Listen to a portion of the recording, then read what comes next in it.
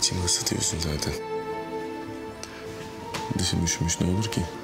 Başka neyi düşüneceğim ki ben? Kahve Olur. hemen geliyor. Ben bu işi çözerim ya. Ben neleri çözmedim ki? Bunu mu çözemeyeceğim? Ben bunu çözerim Allah aşkına. ben halledeceğim? Yasemin bir dursana Allah aşkına kızım ya. Bir sakin ol ya. Bir esiyorsun, gürlüyorsun. Ondan sonra böyle kalıyorsun. içine çöküyorsun, küsüyorsun falan. Bir otur şuraya gel buraya. Tamam bir dakika. Bir şey yok. Ne var ya? Ya babam iyi değilse? Ha? Ya ateşle evli olduğumuzu öğrenirse? Ben daha sahte diyemeden adam ölür, ölür.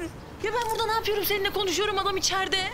Ya kızım bir sakin ol. Allah aşkına oturur musun şuraya ya?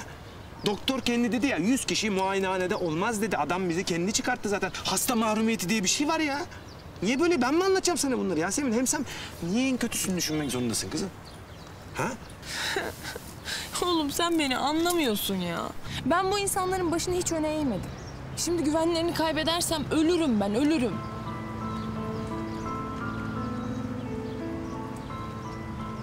Niye öyle bakıyorsun ya? Bakarım ben. Aşığım ya. Duygular kurtarmayacak bizi. Bu işten nasıl sıracağız sen onu düşün. Ya kızım tamam. Ben senin yanındayım. Bir şekilde kurtulacağız bu durumdan. Merak etme sen. Sen benim yanımdasın da. Babam sana uyuz oldu, onu ne yapacağız? Niye öyle oldu? Ne bileyim ya. Ama senin galiba dayı dayı tavrından öyle oldu. Zaten ateşi de çok sevmişler. Çok efendi çocuk falan deyip duruyorlar. Ne diyorsun kızım sen ya? Nasıl bir dayı tavrım olabilir ki? Baban yaş olarak benden büyük. Hani yaşına hürmeten benim doğama ters zaten böyle bir durum. Ben de- böyle bir şey olabilir mi ya? Tamam işte. Bundan sonra sen de tamam amca da geç. Bir de çok samimi olmayalım. Ya tamam kızım ben anlamıyorum ki. Hastaneye ben getirdim. Evden dükkana kadar valizi ben taşıdım. Yani bu ateş niye prim yapıyor? Niye prim yapıyor? Allah aşkına niye prim yapıyor ya? İki kat valiz taşı diye mi? Adalet istiyorum ben. Adalet ya. Tamam sen babamla iyi anlaşmaya bak. Ne düşünüyorsun?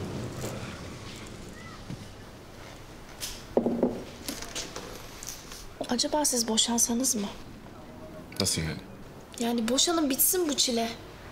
Sizinkiler de bizimkiler de sizi ayrıldı olarak bilsin. Şahane bence bitti. Ha, Üzeyir amcayla Nedet teyze de daha evli olduğumuzu bilmeden boşandığımızı öğrensin öyle mi? Ayşen adam kalp krizine kalmadan oracıkta ölü verir. İyi de yani bu mahallede dolanırken de kalp krizinden bir anda gidebilir. Ateş bak, hadi bizimkileri oyaladık diyelim. E, Bütün mahalle sizi evli biliyor. Bak düğününüzü mahalleli yaptı, unutma. Evet öyle bir şey de oldu değil mi? Hı hı. Dur ya dur. Bir şekilde bir hal çaresi. Bizim koltuğu çok rahatsızmış ya. Boynu falan tutuldu bayağı. Demir değil mi o? O götürüyor Yasemin? Evet evet. De. Ne diyor lan?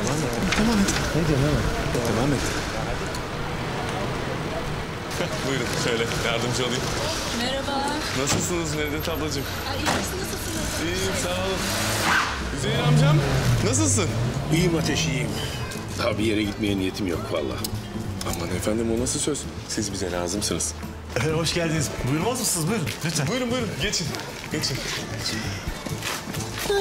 Yasemin ne işiniz var burada kızım? Niye getiriyorsun insanları buraya? Ne yapayım Ateş? Çatıya mı çıkarayım, yalıya mı götüreyim? Ne yapayım?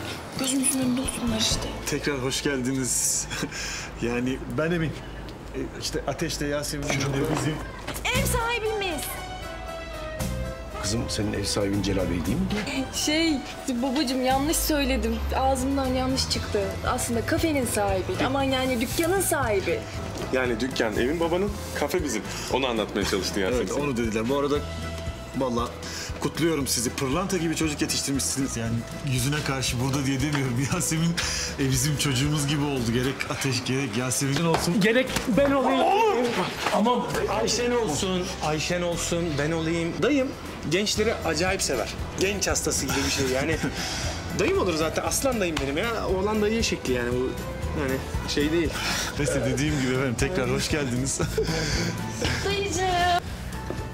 Babam seni çağırıyor. tamam biz sohbet ediyoruz kızım geleceğim ben Ama sonra. acilmiş, çok acilmiş. Efendim işte... E, Hadi dayıcığım. ama kızım ne yapıyorsun? Efendim tekrar siz rahat edin ben ge- gelirim. Uç uç, vallahi dayı bilmiyorum. Yasemin'ciğim, kek bitmiş de almaya geldim. Al hayatım, al al al. Ne vereyim abime? Çay çay.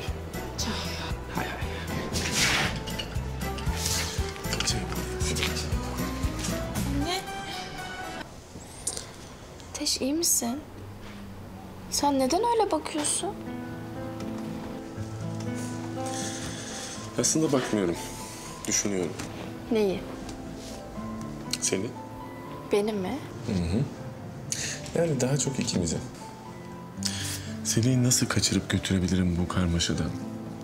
Sadece ikimize ait bir hayat nasıl kurabilirim bunu düşünüyorum. Atın da hazır mı peki? Atım mı? Atım bu planın neresinde işimize yarayacak onu anlamadım. Sen sanırım kendini beyaz atlı bir prens olarak görüyorsun. E ben de kuledeki prenses oluyorum bu durumda. Keşke o kulede olsaydın Ayşen. Keşke sadece benim tırmanabileceğim, başka kimsenin seni kırıp dökemeyeceği, sadece bize ait olan bir kulede olsaydı. Benim başım dertte mi ki? Ayşen senin benim yanımdayken başının dertte olmasına imkan ihtimal yok. E tamam. O zaman niye böyle konuşuyorsun benimle anlamadım ki ben. Yoruldum belki Ayşen. Benden mi yoruldun? Senden mi? Senden olur mu hiç? Olsa olsa sana ulaşmaya çalışmaktan olabilir. Ya da seninle baş başa vakit geçirebilmek için kırk takla atmaktan olabilir. Hatta en basitinden ufacık bir tebessümünü görebilmek için kapıların arkasına saklanmaktan olabilir. Belki. Peki neden bütün bunları yapıyorsun? Aşktan. Bu işte. Anahtar kelime bu Ateş. Aşk. Eğer biz bütün bunları yaşamasaydık, sen yine bana aşık olacak mıydın? Aşk zor olandır Ateş. Yoran, yıpratan ama ne olursa olsun asla vazgeçilmeyen. Eğer o kulenin merdivenleri olsaydı, üçüncü kez çıkmak için gücün olmazdı. Niye inip çıkmakla uğraşıyorum bu arada? Ömrüm boyunca orada kalsam... Mesela boynunda, koynunda ya da kokunda hapsolsam mesela fena mı olur?